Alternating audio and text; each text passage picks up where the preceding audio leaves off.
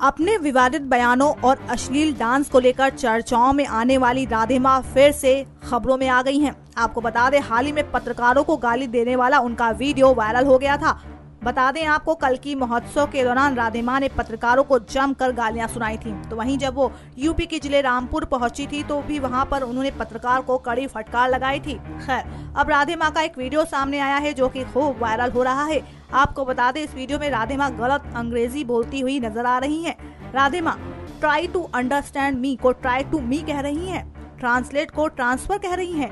TV channel को दिए interview में वो बातचीत में अंग्रेज़ी बोलती हैं। इस दौरान वो please try to me listen to me fed up हो चुकी हूँ अपनी लाइफ में जैसे शब्दों का प्रयोग कर रही हैं।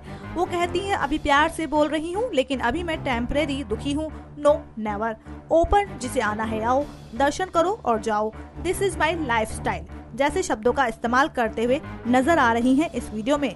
गौरतलब है कि यूपी के संभल ज़िले में हुए कल की महोत्सव के दौरान पत्रकारों से बातचीत करते हुए उन्होंने मीडिया को चुनौती देते हुए कहा था कि उनके कहे गए अंग्रेज़ी शब्द को हिंदी में बोल के ट्रांसफ़र करके दिखाएँ।